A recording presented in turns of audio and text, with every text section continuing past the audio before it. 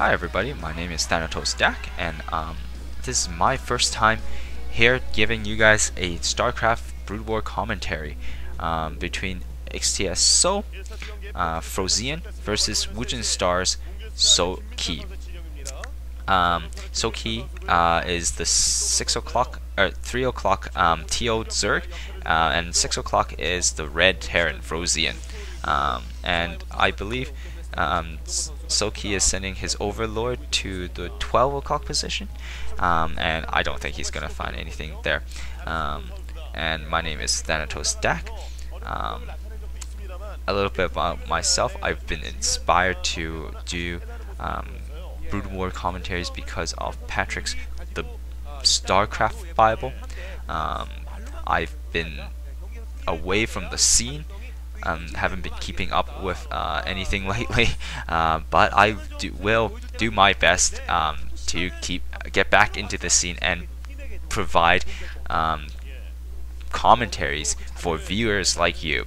Um, because I know uh, as a viewer before I always waited for these videos to come out and just every single time they came out I was so happy to watch um, uh, these commentaries. Um, and we see that drone heading to the 9 o'clock position, I believe. Um, but I don't think uh, Soulkey is going to see anything there. Um, blocking off um, his opening there with uh, a barracks. Oh, and um, a fast refinery. I think that's going to indicate um, Frozean's going to go with some uh, factory uh, units, some fast mech play. Um, and we saw there with Soulkey uh, putting down his expansion. Um, oh, and finally, finally, uh, Soulkey is going to scout where Frozean is with his drone right about now. Um, and um, Soulkey's drone is going to do some harass on that SCV, but um, yeah, the barracks gonna finish in time, and the drone is not going to be able to get him. Um, and yes, that SCV is going to put down that factory. Um, uh, and the first marine pops out for Frozean. Uh, oh, and Frozean is going to send out an SCV scout uh, oh, oh, oh, yes! Soulkey is able to slip that drone in just as the barracks was landing, and he's going to be able to see that factory and know that um, there will be some mech play um, coming from Frozean, and I think he's going to be able to respond accordingly. Um, Frozean really needs to take out that drone uh, because oh, and there's there's the um, lair for um, Soulkey. Uh, as I was saying, Frozean really needs to take out that drone. Um, because that drone is able to see everything in Frozean's space, and unless he takes that out, um, he's giving um, Soulkey that information advantage, and I don't think you want to do that um, for and give that advantage to a Zerg player. Um, uh, let's see here. Oh, and finally the drone. Oh wow, the drone gets taken out, and right then Frozean puts down two starports. Wow, that is some tricky play. Um, and I think Frozean was sending out a vulture. Yes, yes, there it is. Um, that vulture is going. Oh, and there's a SCV scout going up to the 10th position. Wow. Okay. Um, uh, the vulture. Oh, okay. The vulture's not going to be able to do some harassment because um, we saw that sunken put down there by um, Soulkey, very smart, and that vulture is going to content be content with uh, just hurting that um, um, lurker egg. Um, and going back to the two star starports, I think um, Frozean is going to go with some Wraith harassed harass, and I think that I don't think um, Soulkey knows about this, and I don't think he will be able to counter it fast enough. Um, this I I think it's going to work very well in the favor of Frozean. And that's SCV is just doing nothing at the 10 o'clock position. Okay.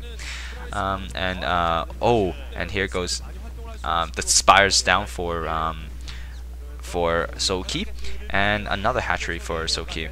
Uh, oh, nice, very nice. Um, there's a secret expansion for Frozean at the 10 o'clock position. And finally finally here comes the Wraiths. And I think they're going to be able to do a lot of damage. Um, that's one overlord down.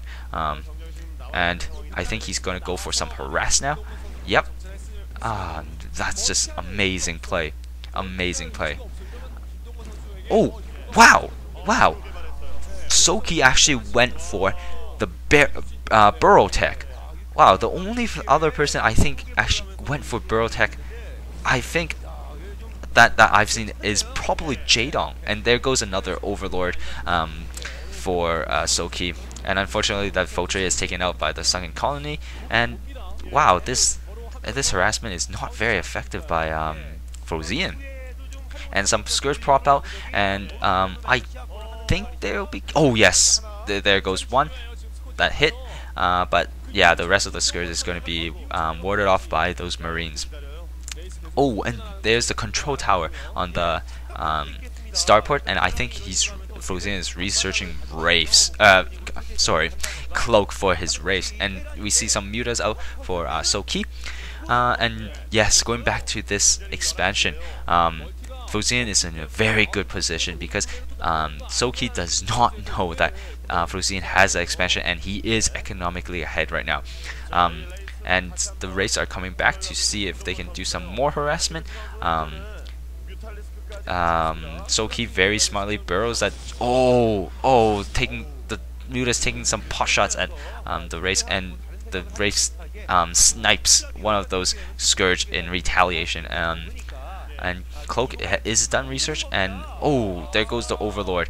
That's very very smart, taking down the Overlord so that this um, in, cloak Wraiths would be so much better in uh, harassment. And um, is building that engineering bay to ward off that muta harass that will be coming inevitably.